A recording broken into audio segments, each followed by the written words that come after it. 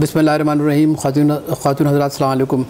آج ہم عبدالحسین خان صاحب کا انٹرویو کر رہے ہیں۔ آپ چھ سال تک سینٹ کے ممبر رہے ہیں اس کے علاوہ بھی آپ کا نام جو ہے، بحیثیت ایک سیاستداں، ایک انٹرپرنیور اور اس کے علاوہ بھی جس طریقے سے یہ سوشل سیکٹر میں کام کر رہے ہیں، اس سے سارے لوگ واقف ہیں۔ اور ان کی سب سے بڑی خصوصیت یہ ہے کہ ان کا ان کا ان کا جو سوچنے کا انداز ہے، وہ پاکستان کے لیے والہانہ محبت رکھتے ہیں۔ اور پاکستان کے سلسلے میں ان کے، ان کی کتاب بھی آ چکی ہے۔ اور وہ قائد اعظم سے جس طریقے سے ان سے متعلق گفتگو کرتے ہیں اس سے متعلق جو لکھتے ہیں، اس سے یہ ظاہر ہوتا ہے کہ کہ حسیب خان صاحب جو ہیں، وہ پاکستان نہیں بلکہ پاکستان اور ان کی سوچ ایک ہی ہے۔ تو آج ہم اسی موضوع بات کریں گے، لیکن ہماری آج گفتگو کا موضوع مختلف ہے۔ ہم پاکستان کی تخلیق یا پاکستان کی تحریک سے متعلق بات نہیں کر رہے ہیں، بلکہ ہم یہ کر رہے ہیں کہ آج کل اسمبلیوں میں جو کچھ ہو رہا ہے وہ کیا واقعی یہ تحریک پاکستان کے تحت جو پاکستان کا قیام عمل میں آیا تھا، اور اس کے بعد یہ جو لوگ جس طرح سے اسمبلی میں بیٹھ کے گفتگو کرتے ہیں، جس طرح ایک دوسرے کے گریبان کو حریفانہ کھینچتے ہیں اور جو زبان استعمال ہوتی ہے وہ بھی میرا خیال ہے کہ مہذب نہیں ہے۔ لیکن ادارے تو ہوتے ہیں جو قومی اسمبلی یا صوبہ اسمبلی وہ قانون سازی کے لیے ہوتے ہیں۔ لیکن ہم وہاں دیکھ رہے ہیں کہ وہاں قانون سازی نہیں ہو رہی، گزشتہ دس ماہ سے بلکہ لڑائی ہو رہی ہے۔ اور ایک ایسی لڑائی ہو رہی ہے کہ جس کے، جس کا کوئی کوئی نتیجہ بھی نہیں نکلے گا۔ چلیے، کسی لڑائی کا نتیجہ تو نکلتا ہے، اس کی لڑائی کا تو کوئی نتیجہ بھی نہیں نکلتا۔ آج یہی موضوع ہے اور ہم بہت شکر گزار ہیں سینیٹر عبدالحسی صاحب خان صاحب کی کہ انہوں نے وقت دیا۔ آپ ظاہر ہے کہ بہت مصروف ہیں۔ اور مصروفیت کا عالم یہ ہے کہ ابھی ہم جب بات کریں تھوڑی دیر کے بعد پھر کسی جگہ ان کا اپائنٹمنٹ ہوگا۔ تو خاصا ہم بہت شکر گزار۔ آپ یہ بتائیے کہ اس وقت دیکھیے اپنے تھوڑا سا اشارہ کیا تحریک پاکستان کا قائد اعظم کا جس سے آپ بڑی والیانہ محبت کرتے ہیں۔ یہ اسمبلی میں کیا ہو رہا ہے؟ قومی بھی اور صوبائی میں اس میں دیکھیے کوئی اس کے پیچھے کوئی بیک گراؤنڈ ہوگا نا؟ اسمبلی کے اندر پڑھے لکھو لوگ جاتے ہیں۔ اور تعلیم جو ہے وہ تمیز آداب سکھاتی ہے۔ کون سے لفظ کہاں بولنے ہیں وہ سکھاتی ہے۔ تو جو اسمبلی آپ کی جو ہے جہاں پر لوگ جا رہے ہیں اس کا تعلق تعلیم سے نہیں ہے۔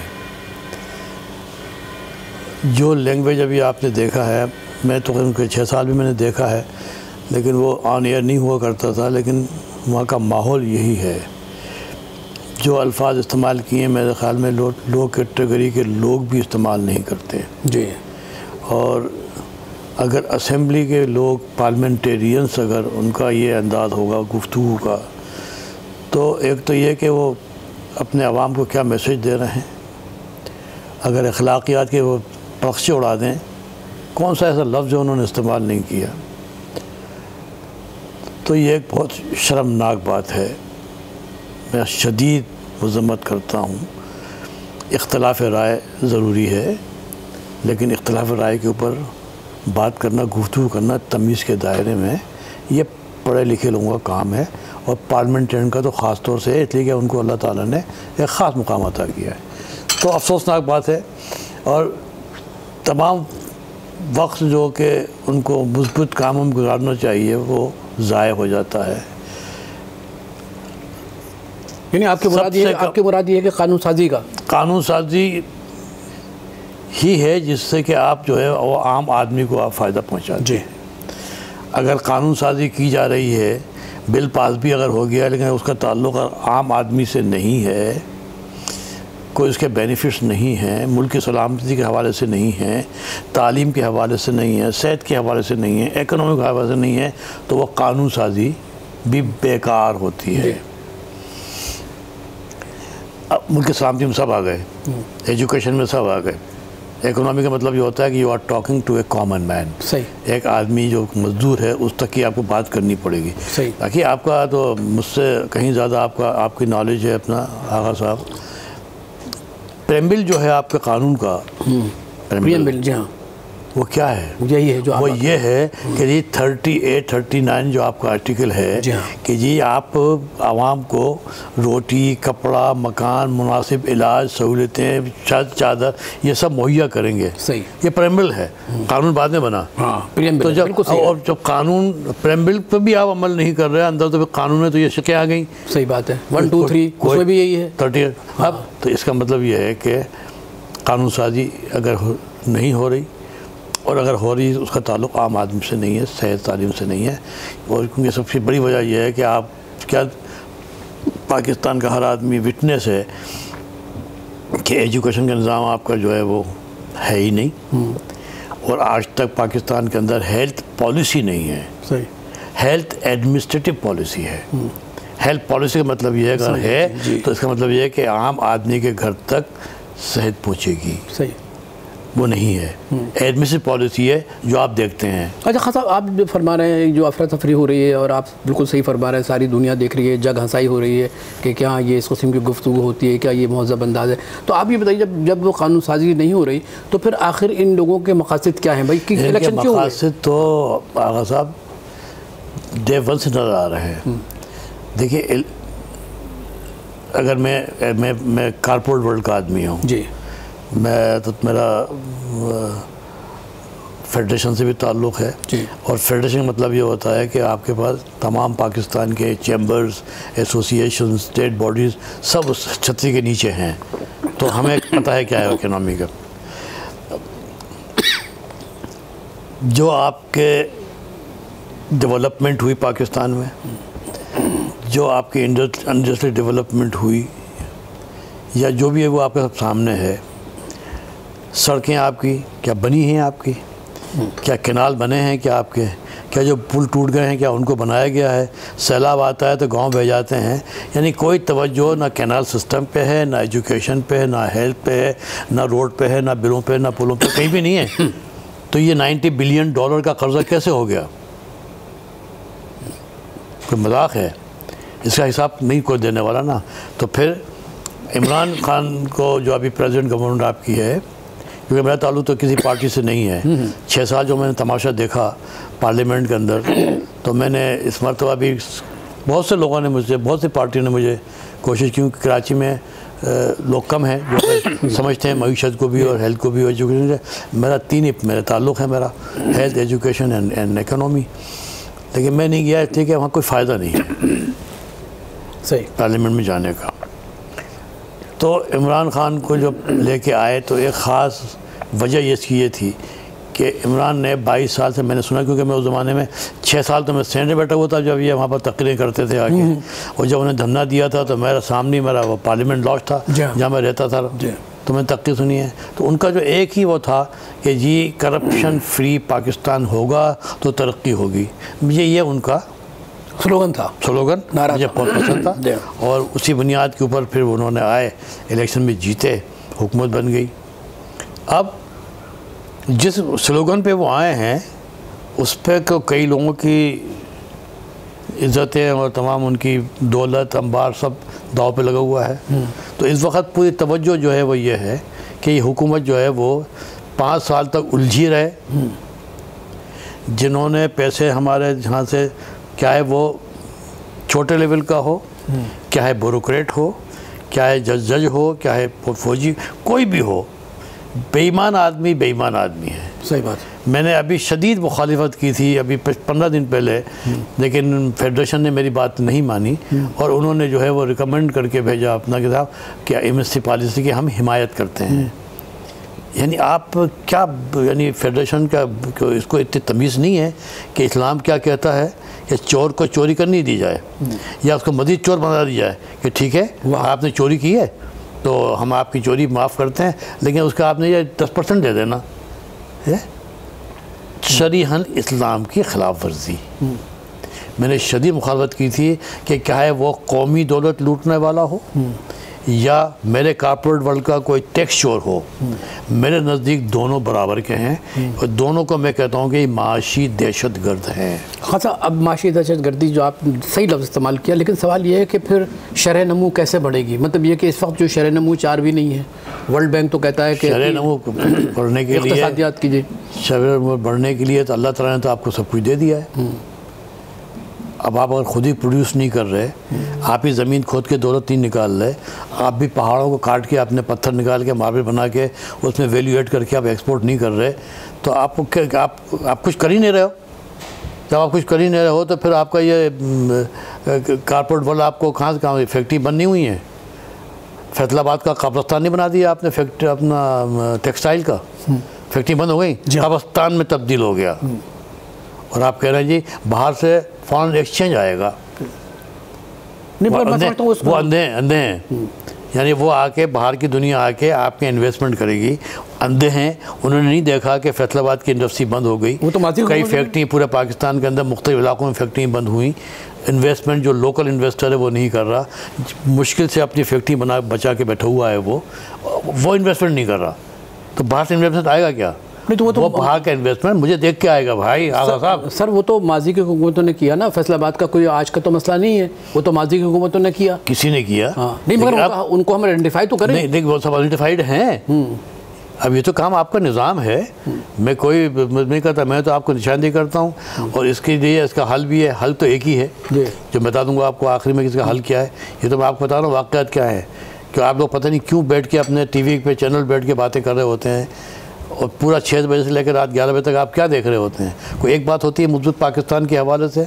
کیا کبھی کوئی مجھے بتائے گا کہ پاکستان کے جو پندرہ، پچیس، تیس، چالیس ان کے چھوٹے چھوٹے کوٹیشنز ہوں گی، اس پہ عمل کر لو، پاکستان جو ہے دنیا کا مالدار ترین ملک ہوگا، سب کو قرضے دار ہوگا، آپ بھی مانگتے پھر رہے۔ ہیں کیونکہ آپ کچھ کر نہیں رہے۔ انویسٹمنٹ آپ کی باہر سے نہیں آئے گی جب تک کہ میں کمفرٹیبل نہیں ہوں گا وہ جب باہر سے آتے ہیں، ہم سے بات کرتے ہیں۔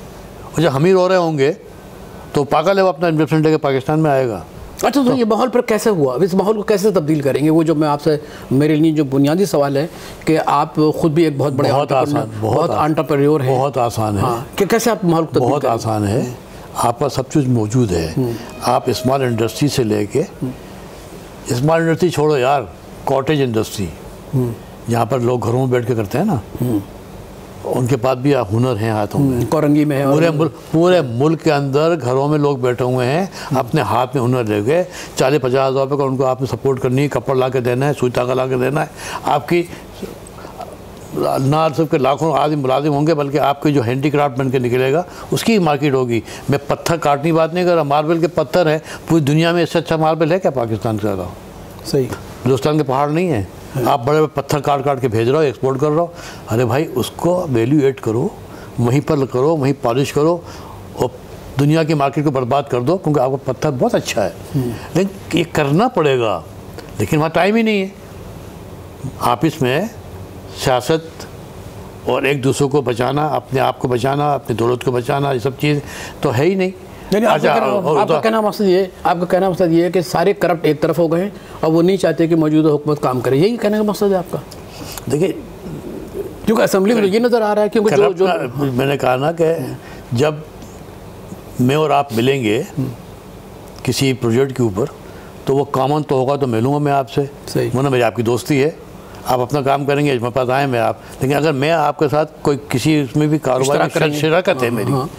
تو آپ مجھے پروٹیکٹ کرو گے میں آپ کو پروٹیکٹ کروں گا۔ تو اگر میں ہم دونوں جو ہیں اگر چور ہیں تو کوئی تیسرا آدمی اگر وہ آ کے میرے پاس آئے گا تو آپ مجھے سپورٹ کرو گے انڈائریکٹلی اور اگر آپ کے پاس کوئی آدمی آئے گا تو میں آپ کو انڈائریکٹ سپورٹ کروں کیونکہ ہم دونوں چور ہیں۔ تو یہ ماحول چل رہا ہے۔ نہیں تو مگر do you see any light across the tunnel سو فیصدی۔ کوئی پرابلم نہیں ہے۔ اچھا۔ اس میں عدلیہ بحال ہوئی ہے۔ الحمدللہ۔ عدلیہ بحال ہو گئی اس میں کوئی کلام نہیں ہے۔ عدل بحال نہیں ہوا ابھی۔ تو جو عدلیہ بحال ہو گئی ہے ایک نظام بن گیا ہے۔ اور ابھی پچھلے جب دیکھا آپ چیف صاحب آئے تھے انہوں نے کچھ کام کیے تھے۔ ابھی جب چیف صاحب آئے ہوئے یہ بھی اپنا ایک ایک ان کا بھی اپنا ایک ماضی بہت شاندار ہے۔ مجھے امید ہے۔ لیکن اب آپ کو یہ جلدی فیصلے کریں گے۔ کیوں کہ آپ کو وہ جو بکری چور اور مرغی چور جو ہے اس کے والا جب وائٹ چور جو آتا ہے نا وائٹ کالر وہ بہت مشکل سے ہاتھ آتا ہے۔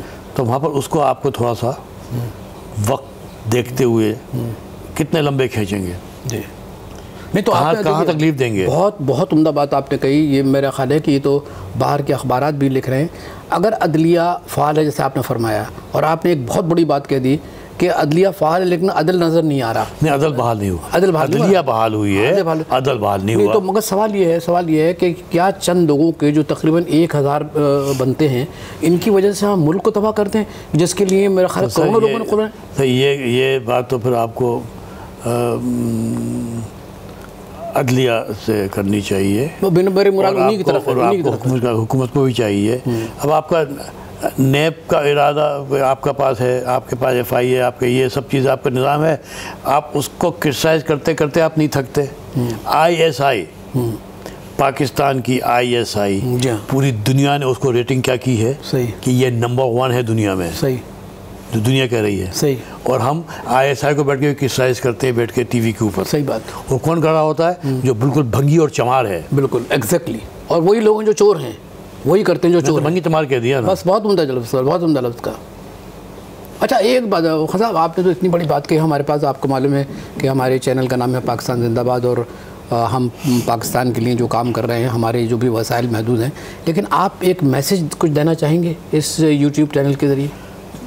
دیکھیے عالمی سطح پہ دیکھا جائے گا۔ اگر اگر پاکستان کا آپ نام نہیں لیتے اور اس میں قاجہ کا نام نہیں آتا تو ہم آپ کو انٹرویو دیتے ہی نہیں صحیح بات کیونکہ ہماری کمزوری ہے صحیح بات ہے ہم ایک بڑے کروٹ پاکستانی ہیں صحیح پاکستان کے خلاف ہم ایک لفظ سن نہیں سکتے صحیح دیکھیے ہمارے پاس then what message you like to give to I will like to give a message اور بہت سمپل میسج ہے پاکستان دنیا کا مالدار ترین ملک ہے۔ آج بھی آپ کے چینل سے میں پوری دنیا کو بتا رہا ہوں یہ بات جی۔ کہ اگر ہم سے زیادہ مالدار ملک آج بھی لوٹنے کے بعد بھی اگر کوئی ملک بھی ہے تو آپ کو ضرور بتائے کہ صاحب ہم بھی ہم بڑے زیادہ مالدار ہیں آپ سے۔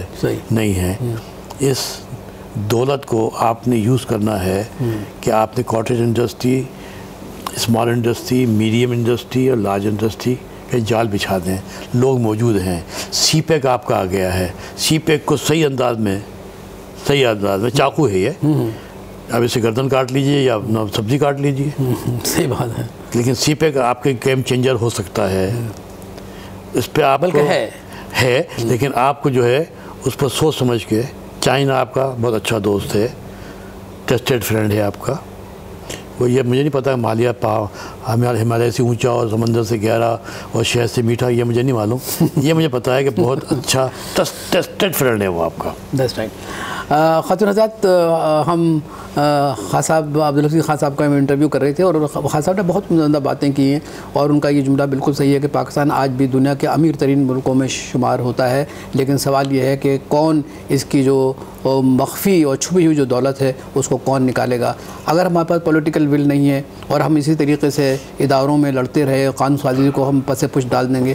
تو کس طریقے سے پاکستان کا کام چلے گا؟ لیکن عبدالحفیظ خان صاحب ظاہر ہے کہ سینٹ میں چھ سال رہے ہیں، بہترین تقریریں کی ہیں، بہترین لوگوں کو انہوں نے جگایا ہے، ان کو جھنجھوڑا ہے کہ خدا کے لیے اس پاکستان کی تعمیر کریں، پاکستان کو مستحکم بنائیں۔ ابھی حال ہی میں خود آپ نے فرمایا کہ کس طریقے سے انہوں نے فیڈریشن میں جا کے اپنے خیالات کا اظہار کیا، پھر لوگوں کو سمجھایا کہ ویلیوز کیا ہوتی ہیں، اسلام کی ویلیوز کیا ہوتی ہیں، سماج کی ویلیوز کیا ہوتی ہیں۔ خان صاحب تو اپنا کام کر رہے ہیں اور ہمیں امید ہے کہ خان صاحب ان شاء اللہ تعالیٰ آئندہ ایسا کام کرتے رہیں گے۔ خان صاحب غریبوں کے لیے کام کریں معذور لوگوں کے لیے کام کریں۔ ان لوگوں کے لیے کام کریں جن کو مارجنلائز کر لیا ہے۔ ہم ان کے لیے دعا کر سکتے ہیں اور ان کے بہت شکر گزار ہیں کہ انہوں نے ہمیں یہ انٹرویو دیا اور ہمیں امید ہے کہ جب آپ یہ انٹرویو دیکھیں گے تو اپنے ہمیں خیالات سے ضرور آگاہ کریں گے۔ بہت بہت شکریہ۔ Thank you sir